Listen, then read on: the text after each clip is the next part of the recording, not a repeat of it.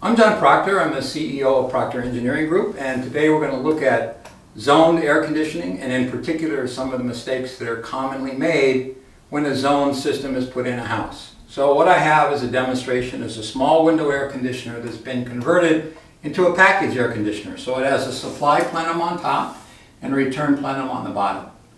There's a bypass between the return and the supply, which is traditionally put into these systems.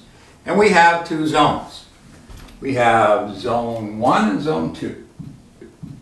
On each zone, there's a damper. So this is a damper open in zone one and closed in zone one. This is a damper open in zone two and closed in zone two. And this is a bypass damper closed and open. So we're going to do our measurements using a flow grid, which is measuring the airflow going into the unit and we're going to measure the flow pressure with this DG700 and that will convert to a flow as it always does on a flow grid. Then we're going to measure two temperatures. We're going to measure the return temperature which we have right here going into the unit and the supply temperature which we'll be able to get through this access hole here. And the last measurement we're going to make is the watt draw which we'll measure with this watt meter. So this is my able assistant Stephanie, and she's going to take down the numbers for us. And I'll start up the machine now. And what we're going to do is we're going to show different configurations of different zones calling and whether or not the bypass is open or closed. So we're going to start off with both of the zones calling for cooling and the bypass flopped open like we often find it. So in this configuration, we see a flow pressure of 4.5, a return temperature of 71, a supply temperature of 41,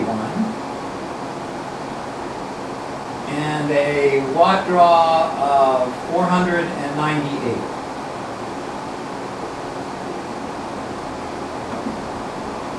So what we're going to do now is we're going to close the bypass damper as it should be if it was working right. We're going to close the bypass damper, let it run for a while. The numbers in this configuration, the flow pressure is 10.1. The return temperature is 72. The Supply temperature is 42.6 and the watt draw is 512 watts. So now we'll change the configuration to have only one zone calling for cooling. So we're going to close the other ones. Now we have this, this zone calling for cooling. And we're going to open the bypass damper because that's the normal method. It's when only one zone is calling, the bypass damper opens. In this configuration, the flow pressure is 2.7. The return temperature is 70, uh, 72. And the supply temperature is 40.2 and the watt draw is 491 watts.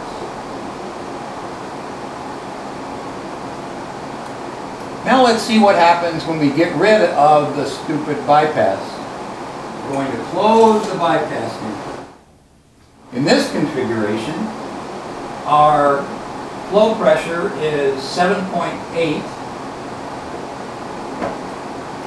Our return temperature is 70.2. Our supply temperature is 42. And our watt draw is 500 watts.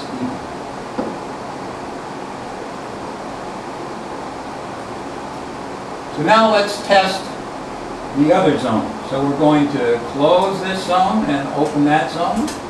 And as it should happen, uh, under typical circumstances is the bypass would now be open. So, under this configuration, the flow pressure is 4.1. The return temperature is 72.4.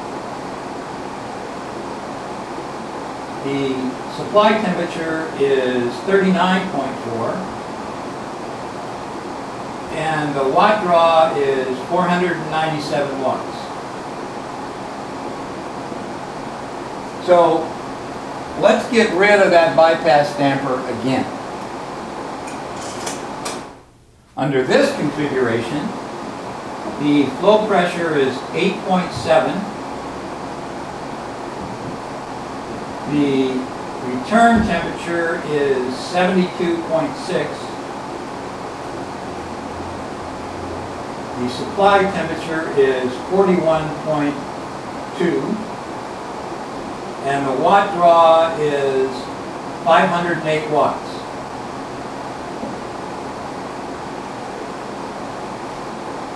So now we're going to go ahead and calculate what the pressure means as far as flow and how many BTUs, uh, sensible BTUs we've delivered and what the EER is and what the savings are between closing the bypass and opening the bypass.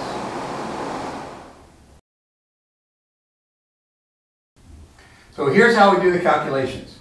We take the calibration from the flow grid, which is 48 times the square root of the pressure.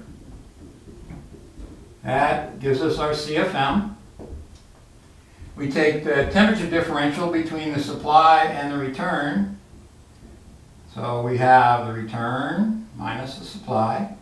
And then the sensible BTUs, is equal to 1.08 times the temperature differential times the CFM.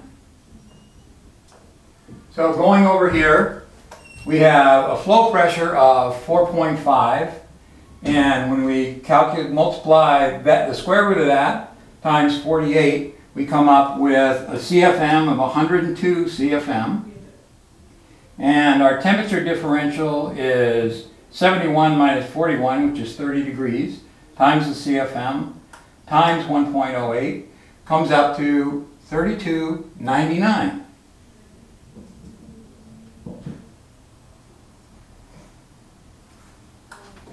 Next thing we're going to do is we'll go ahead and calculate the EER. So we're going to take the 32.99 and divide it by 498. And that comes up to 6.62 is our EER. We'll do the rest of these calculations and see what we have. So more calculations. The EER, of course, is the sensible EER is the BTUs divided by the watts is equal to the sensible EER, which we have calculated right down here. And then the savings, so for example here, the savings will be the uh, biggest number, 9.10, okay? That's the one with the bypass damper closed, minus 6.62, okay, that's the one with the bypass damper open, divided by 9.10. This tells you how much it saves you to close or totally get rid of that bypass damper. 27% savings. Okay, let's look at it when we're talking about where the bypass dampers are actually meant to be open. Okay, so here we have one zone calling. We have the bypass damper open and the bypass damper closed. So look at what's happening. A lot of the airflow is going around in a loop instead of going in and out of the machine. When we close the bypass damper, then we get the flow through the machine, which means that we get the efficiency that we're looking for. So we got 5.52 and 8.17. So I take 8.17 minus 5.52, and I divide that by 8.17, and I get a 32% savings by getting rid of the bypass damper. So now we're going to do it with the other zone. And the other zone goes through the same thing. You get more airflow that goes all the way from the room through the machine and out into the room instead of going in a circle.